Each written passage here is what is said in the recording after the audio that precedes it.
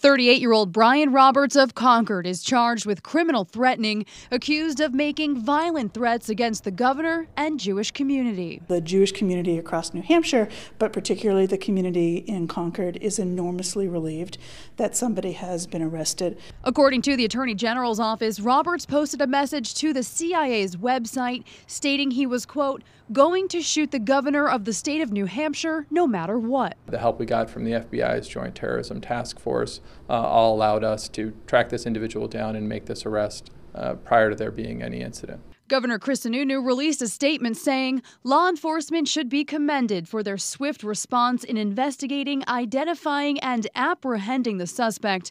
Racism, anti Semitism, and threats of any kind will not be tolerated in New Hampshire. Investigators say Roberts also expressed hatred toward Jewish people. This comes just over a month after the deadly synagogue shooting in Pittsburgh. In a season that's supposed to be about light and joy, whether you're Jewish or Muslim or Christian, um, and the fact that he lessened the joy and heightened the anxiety of this community and breaking the law the way he did, I hope that he's held accountable.